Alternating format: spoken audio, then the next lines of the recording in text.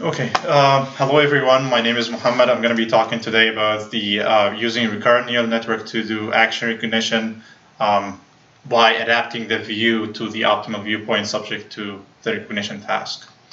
So the problem that we are talking about today is um, the input to the problem is RGB image from recorded from various viewpoints. Um, assuming that we can localize the 3D, the 3D joints so that we can end up with skeleton viewpoints. The skeleton viewpoints mean that the, we end up with 3D skeleton data that is recorded from various viewpoints. And we need to do action recognition based on this skeleton viewpoint data.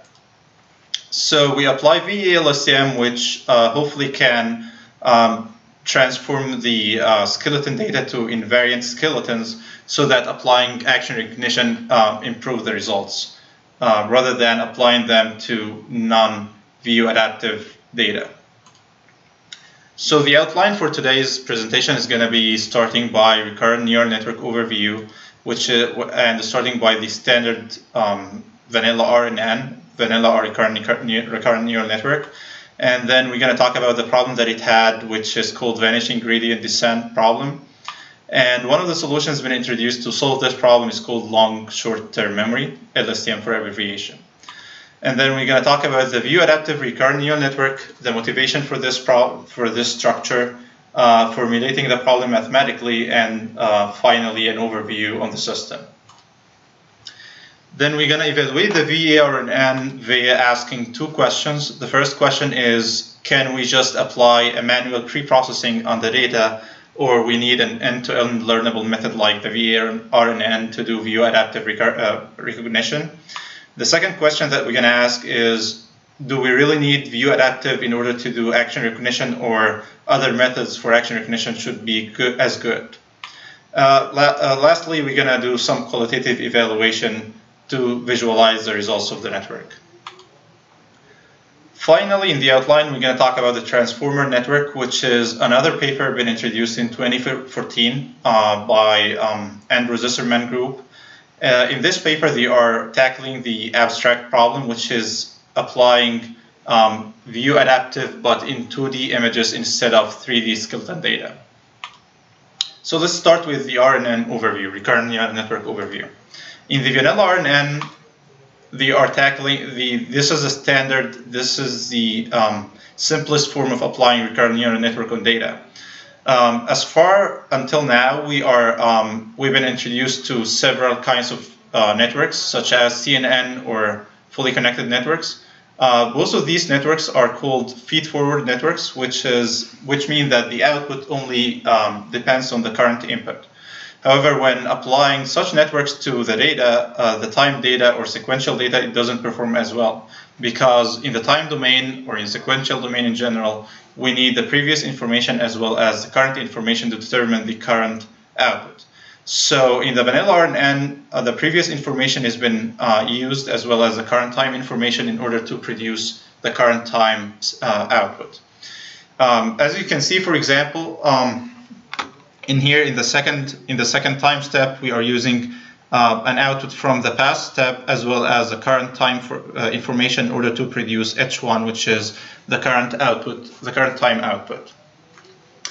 Uh, the vanilla RNN um, actually has a problem. It's called uh, vanishing gradient problem which means that if we have important information been introduced to the network in the early stages um, and we need this information in a later stage in the network in this case, there's going to be a large gap between where the information is needed and where the information has been introduced. Uh, this problem is called vanishing gradient descent, which means that the sensitivity in the network decays over time. Um, there, if there is a long-term dependency uh, between where the information is needed and where the information has been introduced, the network starts to lose this information and um, no longer been able to use that. One of the solutions been introduced to solve this problem is called long short-term memory, LSTM for abbreviation. In the LSTM, they are introducing a couple of new things like the input gate, the output gate, the cell, um, couple of tanh activation functions. But the most important thing that they introduce is called forget gate, which actually learns how much of each time step should be let through. This way, we don't remember all, all what happened in the previous time steps, we only remember what is important. Um, so we don't have long-term dependency problem um, as much anymore.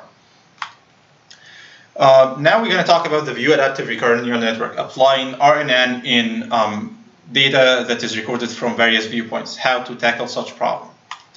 So the motivation for, for this problem, as we just said, is data recorded from various viewpoints. That is called view adaptive. We need to adapt uh, the view to get the best optimal viewpoint. Uh, so we need to transform the data to a standard viewpoint.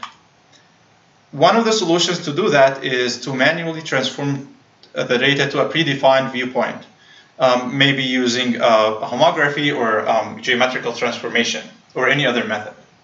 Uh, the other solution is to end to end learning the optimal transformation, such as um, the, our work for today.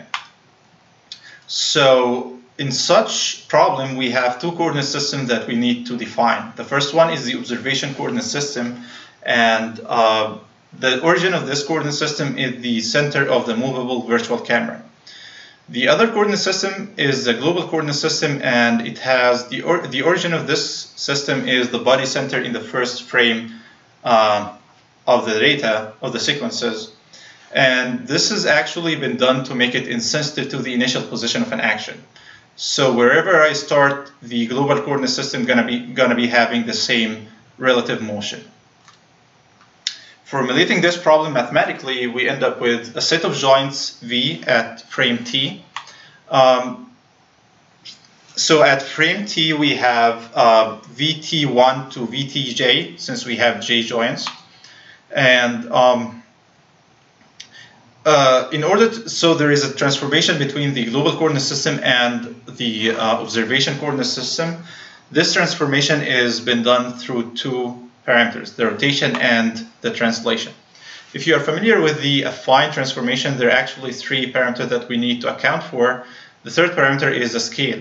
However, since we are handling 3D data, we don't really care a lot about the scale since it's already preserved in the 3D domain. Um, in order to represent the rotation as well as the translation, we need to represent it on the 3D uh, in the three dimensions, x, y, and z. So for the in the case of the rotation, we have alpha, beta, and gamma, which are the um, rotation angles in all of the 3D uh, in all of the three dimensions. One of the rotation, for example, one of the rotation, um, one of the transformation uh, for rotation, rota transformation matrices for rotation is uh, RTY, as they are mentioning in the paper.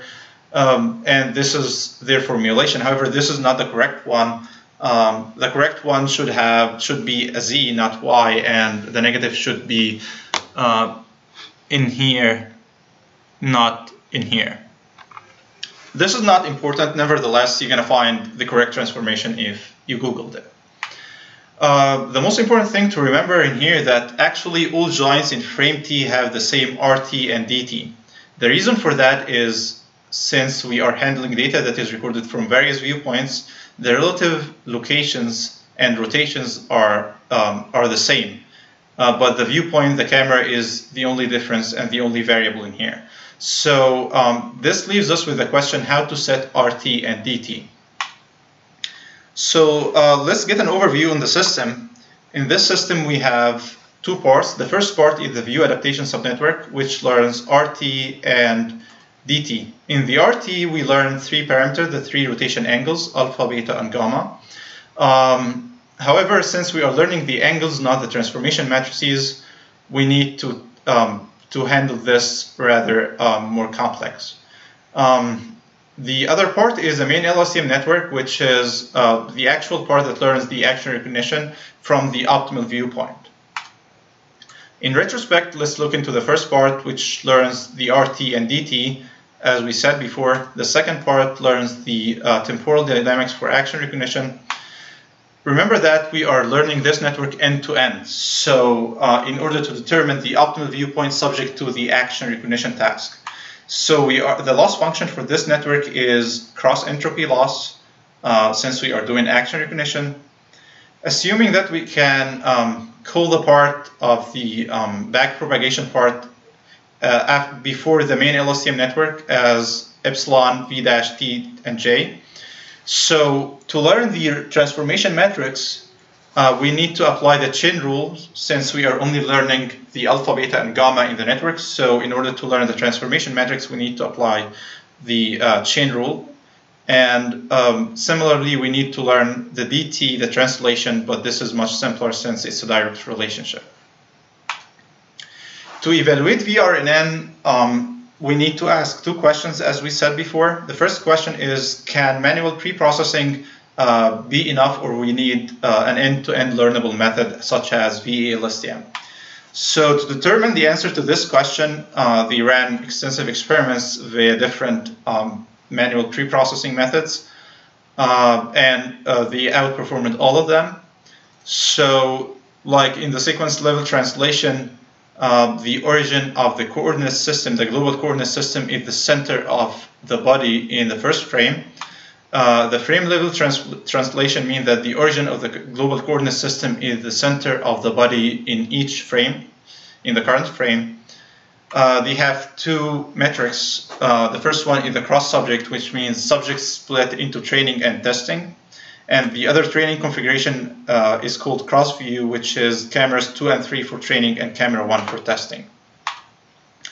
The other question that they asked to evaluate their system is, is view adaptive recurrent neural network is the best way to do action recognition or not? So in order to answer this question, they ran their experiments on three datasets, NTU dataset, SBU dataset, and SYSU dataset, and they outperformed all the other methods in all of the benchmarks.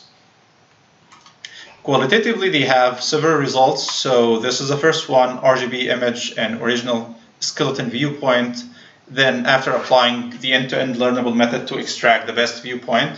So as you can see, we're actually extracting better viewpoints, such as this example. So this is much more descriptive to the action than this, as well as in here, this is also much more descriptive to the action than this.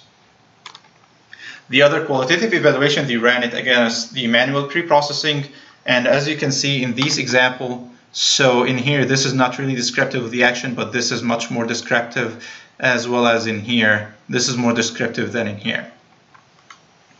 So until now, we've been talking about using um, LSTM to handle 3D skeleton data.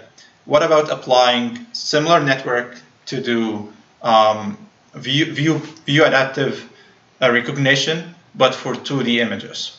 So this work is called Spatial Transformer Network by Max Jaderberg and Andrew Zisserman in Google DeepMind at 2014. Um, they actually applied a similar network, a similar structure to 2D images. So in their in their work, they have four parts. The, the first part is U, which is extracting feature maps, but they are view variant feature maps. So they are different by the view, by the input view. Then they have the second part, localization network, which is uh, predicting the transformation parameters. And the transformation parameters may include any transformation that you think of, such as the elasticity or um, the cluttering or even sc uh, scale or um, rotation. Then the third part is grid generator, which is applying the transformation parameters into the feature maps um, and finally classifying the view adaptive feature maps using V. So for example, uh, the input in this network is going to be a, uh, an, uh, an, image with, which has random translation, scale, rotation, and clutter. Uh, then the second part localize the object of interest um, with regard of by by outputting by predicting some transformation parameters theta, and then by applying the transformation parameters in the third part, the grid generator, it extracts the object of interest and um, make it view, view adaptive. The last part does the classification. Remember that this network does that into single 2D images and it does fine-grained classification, which is in concept should, in concept should be similar to the action recognition. Uh, quantitatively, they ran several experiments. One of them was in CUB 200 bird classification. In, their experiment, in this experiment, they show um, the results or the impact of applying the spatial transformer part, four parts of spatial transformer network versus only CNN without spatial transformer, and they have um, quite improvement because of that. Qualitatively, uh, they have several examples that shows how their network handles uh, uh, transformations such as elastic distortion, uh, and rotated, translated, and scaled as well as rotated, and they actually extracting the object of interest quite well. To conclude, uh, we presented today a problem that given skeletons from different viewpoints, uh, we are trying to predict the transformation parameters to the optimal viewpoint subject to a specific task, such as action recognition. Um, thank you.